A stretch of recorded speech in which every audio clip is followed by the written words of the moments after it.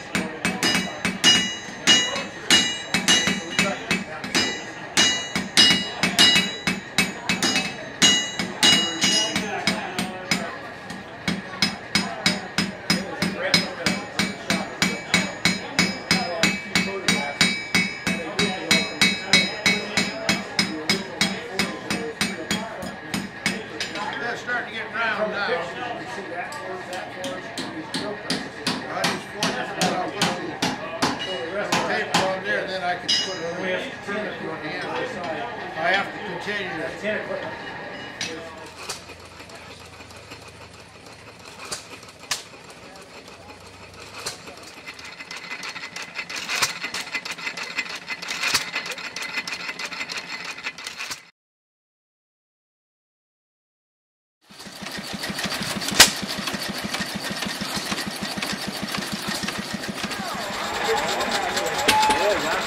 somebody else to take on that.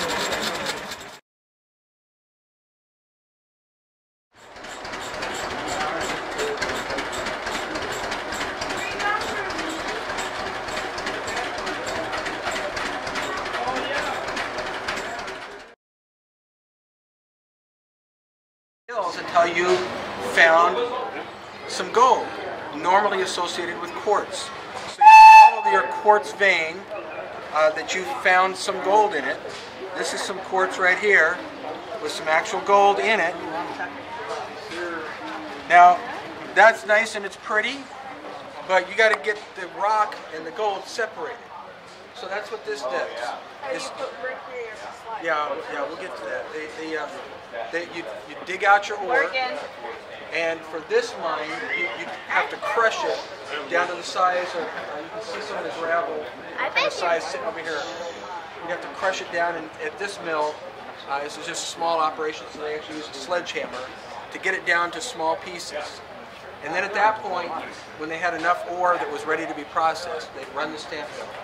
This over here is the steam engine. You got to stoke the fire, and it creates steam. It comes over here and runs this little engine. It's about a, a four horsepower, and uh, that in turn turns this belt that uh, picks up the stamps. The stamp Okay, is that's what I just that long rod, here, those stamps. and it weighs about 750 pounds. So it picks it up, and then it drops it. Boom. And it crushes the rock. So that goes back and forth, and what they do is you have to run water in there to kind of create like like a washing machine action in there. And every time that the, the stamp comes down and hits the metal shoe below it, uh, any rock in between gets crushed. And so you start with rock like this, and you end up with sand like this. Wow. Wow. Now, this uh, this plate right here in front would be a copper plate. This actually is a copper plate that we plated with nickel, so it would look like what they did. But it would be a copper plate that they would cover with liquid mercury. Now, mercury, you might know, is poisonous, but it has a couple of really unique factors. Uh, it sticks to copper, so you can paint this liquid on there, which we have some there. This is metal, but it's liquid. And uh, you'd paint that onto the copper, and it would stick to it. And even though the water's coming over, and the sand with the gravel and the gold and everything else coming down, the, the mercury wouldn't wash off. It's stuck to that copper. But the other thing that mercury does is it likes gold. So any gold that's been crushed out of the rock would stick to the mercury, and all the other stuff just washes off. When the mercury gets full enough with gold, you'd stop the process, you'd squeegee it off, and uh, you put it into a little retort here, and you cook it up. And get it up to about uh, eight, nine hundred degrees, and mercury vaporizes. And so under the pressure, it comes out the tube here, and you keep this rag wet so that as the vapor comes out, it cools down below its point and turns back into liquid. You catch it or use it. Afterwards, when you got all that mercury out of there, you have what they call a gold sponge up here. Look kind of like a sponge because the gold hasn't melted. It's just kind of all kind of congealed in there, all little bits and pieces. So what they do is they take it out of there and they put it into uh, a graphite crucible that they then put into a furnace. We have a little furnace sitting over there. They uh, heat it up to about 2,000 degrees. And at that point, the gold would melt, all the impurities would come to the surface, and then you could flux the, the impurities off and you'd end up with pure gold. At that point, then you would pour it into your mold. It's just pure gold there. So they, at this mine, operated with a 27 ounce. And so, here, you want to take the gold? There you go. Wow. That's cool, huh? Now, Why is it like teal status? Well, because that's kind of, it's not really gold. It's not. It's just to show you about what it, the size it could be. Yeah. If it was real gold, we'd all be in Hawaii right now. Now, back when they ran this mine originally, gold gold prices were about fifteen dollars an ounce. So that 27 ounces would be about four hundred dollars. Anybody know what the price of gold is today? Fifteen hundred. Million. A little over fifteen hundred, give or take.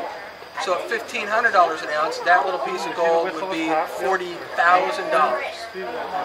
So you know, if you can find some some ore, it's pretty good. So really, the stamp mill is just all about how to extract the gold out of the rock, crushes it, and uh, we'll, we'll run it and show you what it looks like. All right. In operation, Lewis.